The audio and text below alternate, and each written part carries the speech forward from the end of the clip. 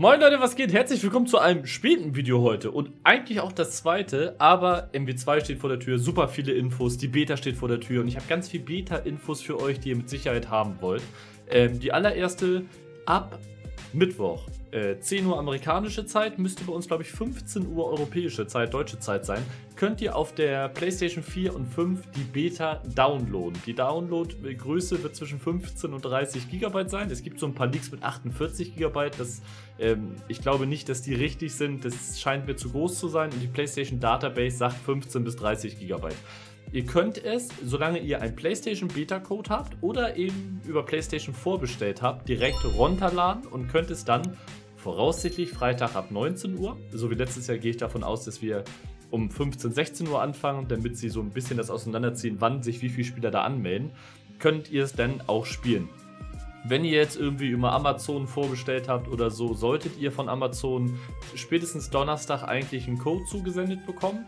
Meistens sind es einfach die direkten PlayStation-Codes. Kann aber auch sein, dass ihr einen Activision-Code bekommt. Den müsst ihr auf der Activision-Homepage eingeben und Activision wandelt diesen Code in einen PlayStation-Code um und gebt ihn dann auf der PlayStation ein.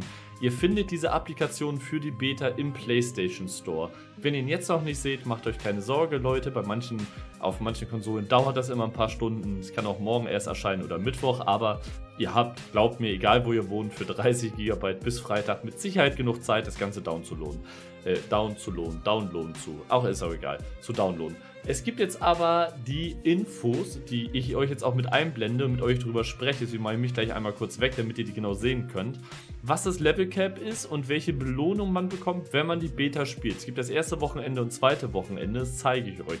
Ihr seht das hier Ganze, was wir hier in der Übersicht bekommen haben. Ihr bekommt für beide Wochenenden, erstes Wochenende ist ja erst Sony Exclusive und dann Sony äh, Free for All und dann ist es ja alle Plattformen Exclusive, also vorbestellt und dann ähm, alle Plattformen frei noch zwei Tage am Ende. Ihr kriegt verschiedenste Operator, Blueprint-Varianten, Sticker und sonst was. Das allererste Level 2 ist ein ganz normales Emblem, dann kriegt ihr wieder einen Charm, dann kriegt ihr später eine Calling Card, dann kriegt ihr einen Sticker und wahrscheinlich Level Cap am ersten Wochenende Level 15, das kennen wir ja, damit wir nicht alles freischalten, ist eine SMG, würde ich jetzt sagen. Äh, keine Ahnung, was für eine das ist. Side Impact heißt die. Die wir jetzt sozusagen bekommen. Ace hat da auch schon ein Video dazu gemacht. Ich, er sagt, das ist eine Glock. Ich, ich persönlich habe keine Ahnung, was für eine das ist. All diese Sachen, die ihr jetzt freischaltet als Geschenke, dafür, dass ihr es gespielt habt, nehmt ihr mit ins fertige Game rüber. Euer Level Cap, eure Stats, eure Level Fortschritt nehmt ihr nicht mit ins fertige Game rüber. Das ist schon die letzten Jahre nicht so gewesen und ist dieses Jahr auch nicht so.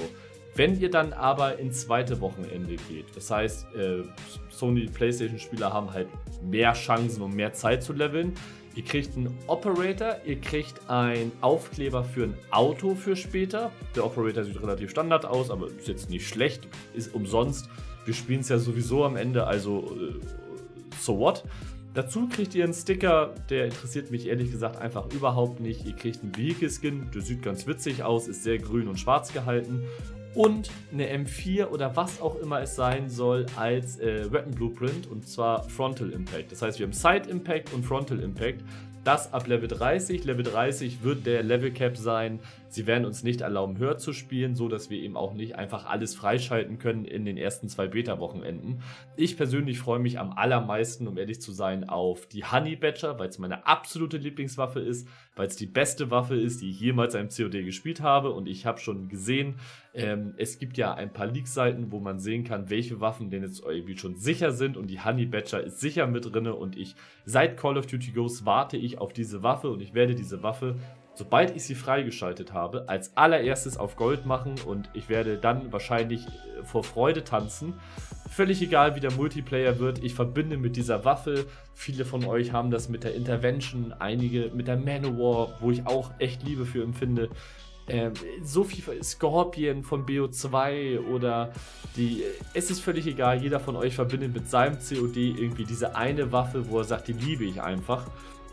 Und genau das ist bei mir in dem Fall einfach mit der Honey Badger. Es sind noch ganz viele andere Waffen schon geleakt worden, die wir wahrscheinlich noch nicht in der Beta sehen werden, aber im fertigen Game. In der Beta könnt ihr euch darauf einlassen, dass wir Verbindungsprobleme haben werden. Es wird Serverüberlastungen geben, das kennen wir alles. Activision ist da nie vorbereitet. Aber ich glaube, wir haben fast zwei Wochen Beta-Zeit. Das ist wirklich nicht wenig.